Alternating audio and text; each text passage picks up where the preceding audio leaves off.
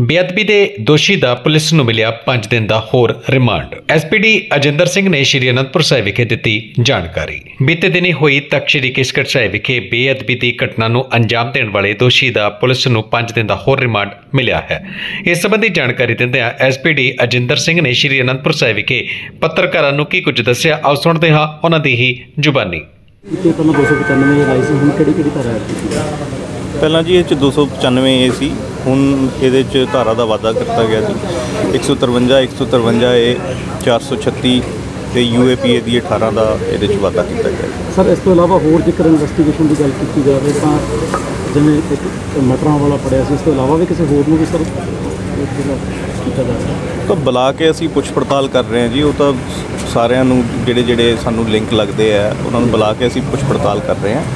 ਤੇ ਦੋਸ਼ੀ ਦਾ ਰਿਮਾਂਡ ਵੀ ਲਿਆ ਗਿਆ।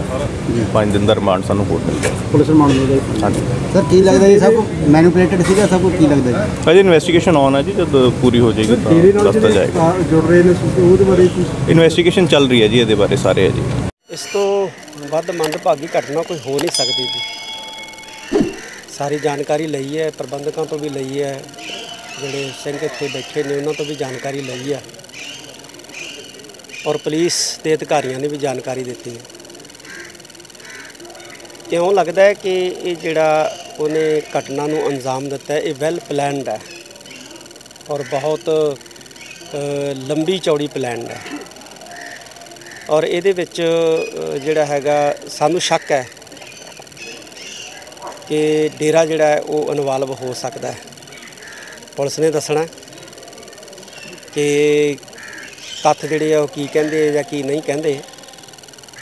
ਪੰਜਾਬ ਦੇ ਸ਼ਾਂਤ ਪਾਣੀਆਂ ਨੂੰ ਇਹ ਇੱਕ ਲਾਂਬੂ ਲਾਉਣ ਦਾ ਕੋਝਾ ਯਤਨ ਜਿਹੜਾ ਕੀਤਾ ਗਿਆ। ਭਾਵੇਂ ਯੂਏਪੀਏ ਲਾ ਦਿੱਤੀ ਹੈ ਉਸ ਦੁਸ਼ਟ ਬੰਦੇ ਤੇ।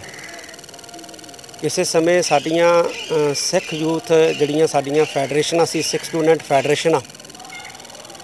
ਸਿੱਖ ਸਟੂਡੈਂਟ ਫੈਡਰੇਸ਼ਨ ਤੇ ਗਵਰਨਮੈਂਟ ਨੇ ਪਾਬੰਦੀ ਲਾਈ ਸੀ ਕਿ ਇਹ ਮੁਲਕ ਦਾ ਮਾਹੌਲ ਖਰਾਬ ਕਰਦੀ ਹੈ ਤੇ ਸਾਡੀ ਸਿੱਖ ਸਟੂਡੈਂਟ ਫੈਡਰੇਸ਼ਨ ਦੇ ਉੱਤੇ ਤਾਂ ਪਾਬੰਦੀ ਲਾਤੀ ਸੀ ਉਸ ਵੇਲੇ ਸਰਕਾਰ ਨੇ।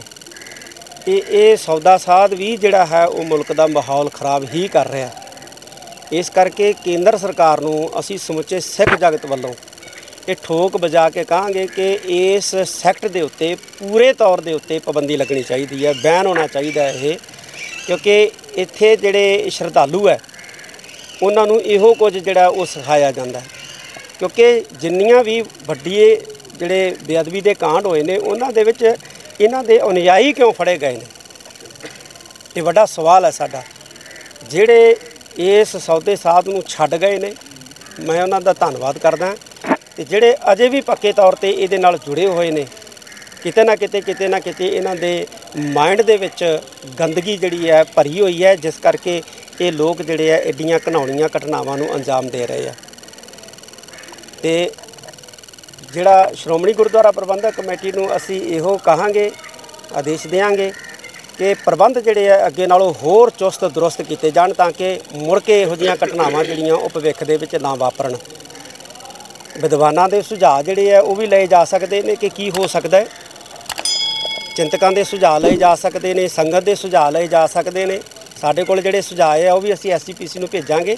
ਤੇ ਐਸਜੀਪੀਸੀ ਆਪਣੇ ਲੈਵਲ ਦੇ ਉੱਤੇ ਵੀ ਵਿਦਵਾਨਾਂ ਚਿੰਤਕਾਂ ਦੇ ਸੁਝਾਅ ਲੈ ਕੇ ਅਜਿਹਾ ਪ੍ਰਬੰਧ ਕਰੇ ਠੋਸ ਕਿ ਮੁੜ ਕੇ ਇਹੋ ਜੀਆਂ ਘਨਾਉਣੀਆਂ ਘਟਨਾਵਾਂ ਜਿਹੜੀਆਂ ਗੁਰਦੁਆਰਾ ਸਾਹਿਬਾਨ ਦੇ ਵਿੱਚ ਨਾ ਵਾਪਰਨ ਬੇਅਦਬੀਆਂ ਦੇ ਇਸ਼ੂ ਦੇ ਉੱਪਰ ਜਿਹੜਾ ਪੰਜਾਬ ਸਰਕਾਰ ਨੂੰ ਵੀ ਜਿਹੜਾ ਹੈ ਬਿਲਕੁਲ ਕਹਾਂਗੇ ਕਿਉਂਕਿ ਪੰਜਾਬ ਗਵਰਨਮੈਂਟ ਹੈ ਪੰਜਾਬ ਗਵਰਨਮੈਂਟ ਜਿਹੜਾ ਦੁਸ਼ਟ ਫੜਿਆ ਇਹਨੂੰ ਸਖਤ ਤੋਂ ਸਖਤ ਜਿਹੜਾ ਹੈ ਉਹ ਸਜ਼ਾ ਦੇ ਅੰਜਾਮ ਤੇ ਪਜਾਵੇ ਬਾਕੀ ਮੈਂ ਇੱਥੋਂ ਦੇ ਮੈਨੇਜਰ ਸਾਹਿਬ ਨੂੰ ਜਿਹੜਾ ਉਹ ਕਹਿ ਦਿੱਤਾ ਕਿ ਤਿੰਨ ਟੌਪ ਦੇ ਵਕੀਲ ਜਿਹੜੇ ਆ ਉਹ ਸਰਕਾਰੀ ਵਕੀਲ ਦੇ ਨਾਲ ਜਿਹੜੇ ਆ ਉਹ ਕਰ ਲਏ ਜਾਣ।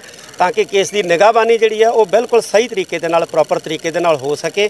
ਯੂਏਪੀਏ ਲਾਇਆ ਹੈ ਤੇ ਸਾਡੇ ਨੌਜਵਾਨ ਯੂਏਪੀਏ ਦੇ ਵਿੱਚ 5-5 ਸਾਲ ਅੰਦਰ ਰੱਖੇ ਜਾਂਦੇ ਨੇ ਤੇ ਇਹ ਦੁਸ਼ਟ ਬਾਹਰ ਨਹੀਂ ਹੋਣਾ ਚਾਹੀਦਾ। ਕਹਾਂਗੇ ਕਿ ਧੰਨ ਗੁਰੂ ਗ੍ਰੰਥ ਸਾਹਿਬ, ਸਾਡੇ ਜਿੰਦ ਜਾਨ ਹੈ, ਸਾਡਾ ਦਿਲ ਹੈ, ਸਾਡਾ ਹਿਰਦਾ ਹੈ। ਔਰ ਸਾਡੇ ਜਿਹੜੇ ਧਾਰਮਿਕ ਸਥਾਨ ਹੈ, ਕਿਉਂਕਿ ਗੁਰੂ ਸਾਹਿਬ ਨੇ ਸਾਨੂੰ ਧਾਰਮਿਕ ਸਥਾਨਾਂ ਨਾਲ, ਗੁਰਦੁਆਰਿਆਂ ਨਾਲ ਜੋੜਿਆ ਅਕਾਲ ਤਖਤ ਸਾਹਿਬ ਨਾਲ ਜੋੜਿਆ ਸੱਚਖੰਡ ਸ੍ਰੀ ਹਰਮੰਦਰ ਸਾਹਿਬ ਨਾਲ ਜੋੜਿਆ ਔਰ ਗੁਰੂ ਗ੍ਰੰਥ ਸਾਹਿਬ ਮਹਾਰਾਜ ਨਾਲ ਜੋੜਿਆ। ਕਿਤੇ ਨਾ ਕਿਤੇ ਸਾਨੂੰ ਗੁਰੂ ਗ੍ਰੰਥ ਸਾਹਿਬ ਨਾਲੋਂ ਤੇ ਗੁਰਦੁਆਰਾ ਸਾਹਿਬਾਨਾਂ ਨੂੰ ਤੋੜਨ ਦਾ ਯਤਨ ਜਿਹੜਾ ਹੈ, ਉਹ ਹੋ ਰਿਹਾ।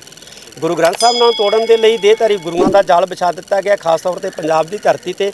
ਤੇ ਗੁਰਦੁਆਰਾ ਸਾਹਿਬਾਨਾਂ ਨੂੰ ਤੋੜਨ ਦੇ ਲਈ ਸ- ਡੇਰੇ ਜਿਹੜੇ ਜਗ੍ਹਾ ਜਗ੍ਹਾ ਬਣਾ ਦਿੱਤੇ ਗਏ ਨੇ ਖੋਲ ਦਿੱਤੇ ਗਏ ਨੇ।